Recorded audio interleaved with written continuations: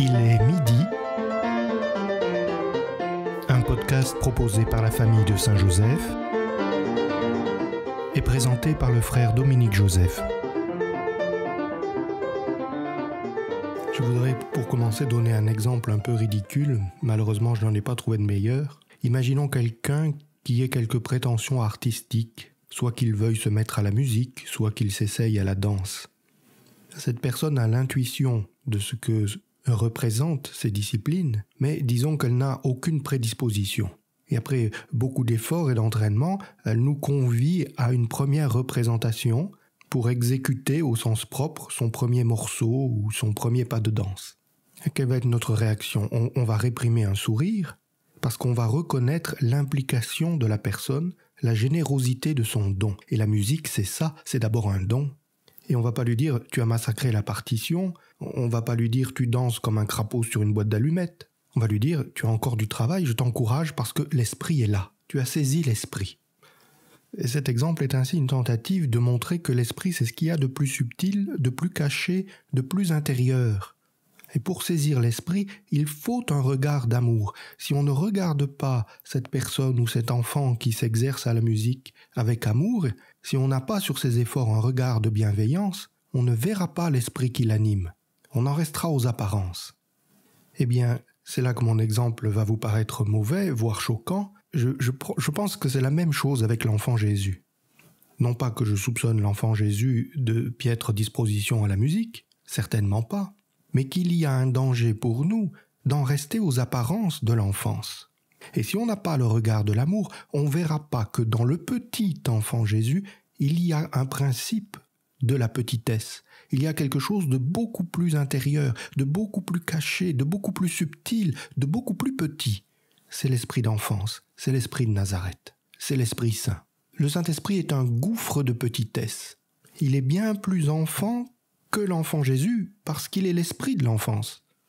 Et c'est une des raisons, par exemple, pour lesquelles le Seigneur Jésus, dans son enseignement, est très strict.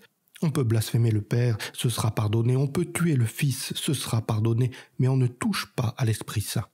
C'est le plus petit, c'est le plus sensible, c'est le plus délicat, on ne touche pas à l'Esprit Saint. Et contrister le Saint-Esprit, c'est en soi une horreur, parce qu'il est si sensible et si délicat, on peut dire il est plus crucifié que le Christ parce qu'il est plus enfant que le Fils. D'où l'insistance de l'Écriture, ne contristez pas le Saint-Esprit, respectez-le. Eh bien cet Esprit Saint, à Nazareth, se révèle comme un esprit de simplicité, et c'est là que je voulais en venir. Ne pas contrister le Saint-Esprit, c'est d'abord ne rien ajouter de soi. Et elle est là la simplicité de Nazareth. Dans la vie quotidienne, il est extrêmement difficile pour nous d'accueillir tout ce qui se présente aussi bien les souffrances que les joies, avec la valeur exacte de ces choses-là, celles qu'elles ont dans la réalité, c'est-à-dire dans le dessein de Dieu, car seul Dieu est réel. C'est très dur de les accueillir dans la réalité providentielle sans que nous y ajoutions toutes les complications qui viennent de notre cœur. C'est très dur pour nous, à cause du péché originel, évidemment. On n'accueille pas les choses comme elles sont, on ne prend pas les choses comme Dieu nous les donne. Dès que ça va bien, on se gonfle d'orgueil en se disant que c'est à cause de nous que ça va si bien. Dès que ça va mal, on, part en repli sur soi, on se rétracte, on coupe les relations, etc.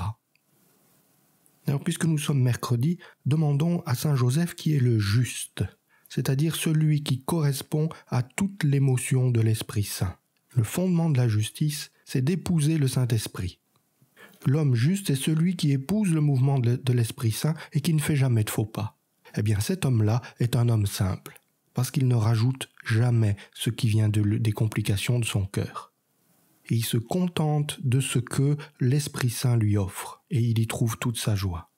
Saint Joseph, nous nous tournons vers vous, faites de nous des hommes et des femmes au cœur simple, infiniment respectueux d'émotions de l'Esprit Saint, heureux de vivre à Nazareth dans la compagnie de Jésus enfant.